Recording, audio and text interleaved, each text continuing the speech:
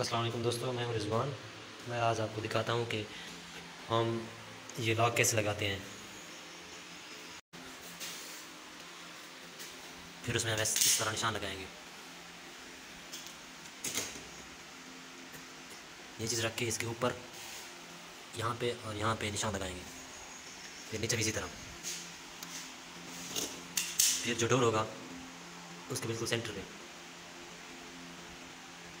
निशान लगाएँगे, ताकि हमारा लॉक सेंटर में रहे और दरवाज़ा ज़्यादा ख़राबी ना हो। करते हैं, अभी हमने निशान लगा लिए हैं और ड्रिल से हम छः सौ तक का बर्मा लगाएँगे।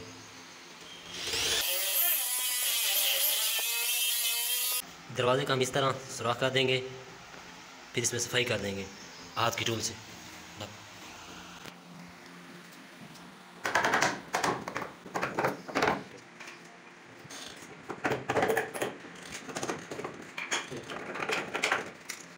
इतना सुराख करेंगे कि ये अंदर चली जाए सारी। दिखा। अब इसके बाद अगला मर रहा देख कर लॉक लगाने से भी है कि ये लॉक इस तरह लगेगा दरवाजे का?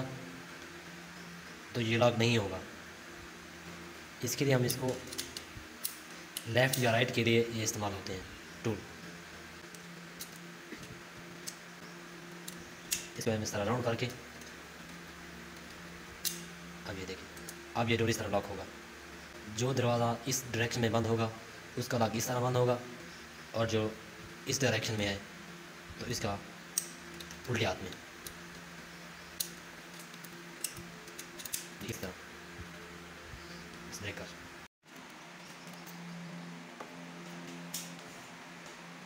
अब हमने सुराख लगा लिए हैं। ये हम ये ड्रिल करेंगे अब।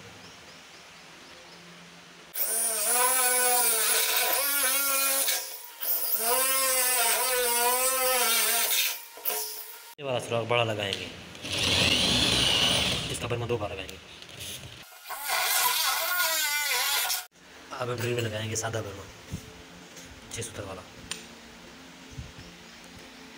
पहले ये बर्मा लगाया था, इसको उतार दिया है। अब ये सादा बर्मा अब हमारे सुराख हो चुके हैं और हमने अंदर से भी सफ़ाई कर ली है, ताकि हमारी अंदर मशीन आसानी से चली जाए।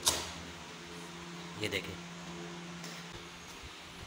निशान लगाने की।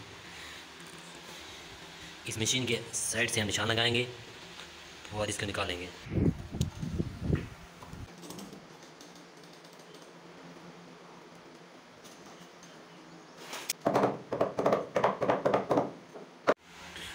लॉक को अंदर घुसे के अच्छी तरह।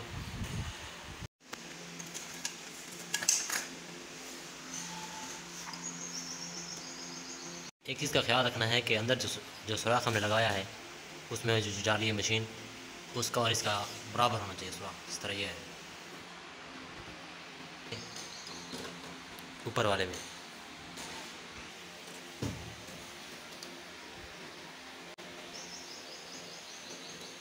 अब इसमें हम हैंडल लगा रहे हैं।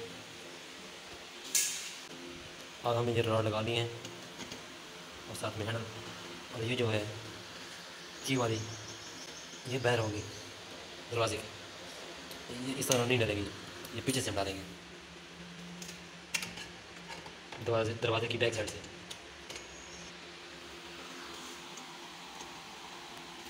आपने यहाँ सुराख लगाने, इसके लिए हम यहाँ निशान लगाएँगे। आप इसमें की लगा सकते हैं। क्योंकि पेंसिल हमारे अंदर नहीं जाएगी। की लगा के फिर निशान लग जाएँगे इसमें। हमें हमारे पास निशान आ गए हैं। इसके लिए हम दो सूत्र का बर्मा इस्तेमाल करेंगे। हर चीज़ के लिए अलग अलग बर्मा होता है। और हम सुराख करेंगे अब इसे अब हमारा ऊपर सुराख हो गया है और अब ये हम डाल दिया है। नीचे ये भी डाल। अब ये सुराख सारे लग चुके हैं।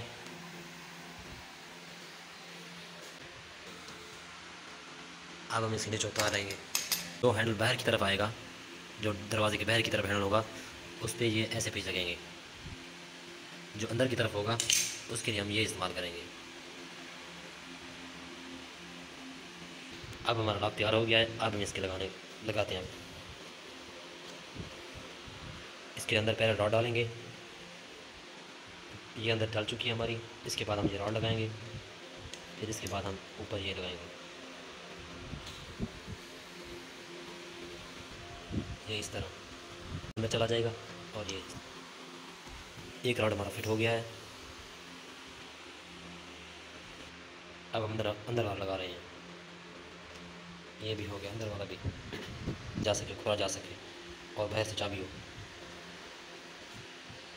ये इस तरह नहीं लगेगा। बल्कि ये इस तरह लगेगा। इस उल्टा भी आप लगा सकते हैं। लेकिन सिक्योरिटी के लिए ये बेस्ट है। अब बारी आती है इन पेचों की। ये जो पेज आपको दिखाया था, इसके लिए ये होता है। ये अब इसके अंदर डालेंगे। फ़र्स्ट वाले में नहीं सेकंड वाले में। इसको टाइट कर दिया है अब। अब हमारा ये लाग ये सारे लाग का दार मदार इसी पेज पर होता है, जो ये लगाया है। इसके बाद ऊपर पेज लगाएँगे और फिर बाद नीचे। अब अब फ्रंट का काम सारा हो गया है। तो मैं ये लगाए थे पेज अंदर वाले। ये छोटे पेज जो खोल करके अच्छा अब ये लाख हमारा लग गया है। अब इसको चेक कर